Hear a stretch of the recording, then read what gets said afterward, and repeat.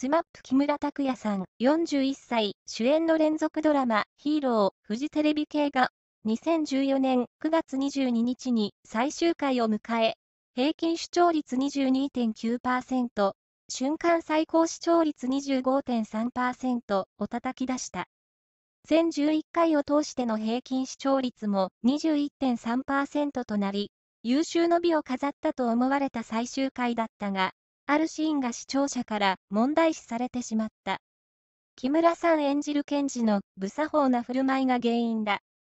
ヒーローは、東京地検城西支部を舞台に、型破りな検事、栗生公平、木村さんと、個性的な仲間たちの活躍を描いた作品で、2001年に放送された第1期は大人気を博した。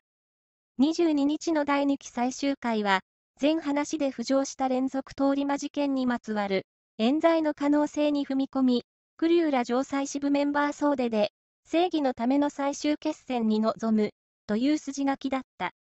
放送終了後、ネット上は面白かった。泣いたわ、ヒーローの最終回めっちゃ感動した。といったファンからの絶賛の声で溢れた。2日経った今でも声は増え続け、早速、クリュータンロス、ヒーローロスと、放送終了を惜しむ声が上がっている。その一方で、ドラマの中の無作法な振る舞いが貧縮を買っている。問題のシーンは、クリューが法廷へ向かう前に、故、鍋島自責検事の墓参りをする場面だ。クリューは、墓石の前にしゃがみ、手に持っている線香の束に、何度も息を吹きかけたのだ。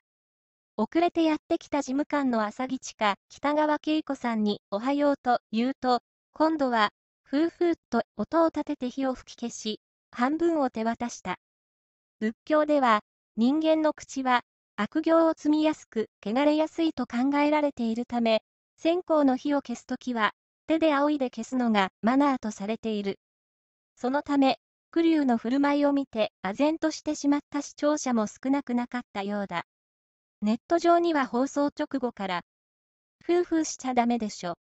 お線香を口で消すという暴挙。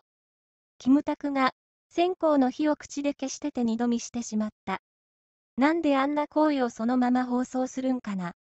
といった声が相次ぎ寄せられた。クリューは、茶髪に、T シャツ、ジーパン姿の破天荒な検事という設定であり、線香を吹き消すのは演出との見方も出ているが、それでも、容姿、言葉遣いは型破りでいいけど、作法を破ってはいけないと思う。わざと演出としてやる意味ないし、常識を知らないスタッフが作ってるんだろうなって思われても仕方ない。と視聴者は手厳しい。墓の下で眠っている鍋島は、クリューが検事を目指すきっかけとなった沼田検事の同期であり、クリューの一番の理解者だった。何よりも、前作で鍋島を演じていたのは、2011年5月に亡くなった小玉清さん。鍋島に思いを馳せるクリューの姿は、ファンの涙を誘うものとなるはずだっただけに、後味の悪さを残してしまった。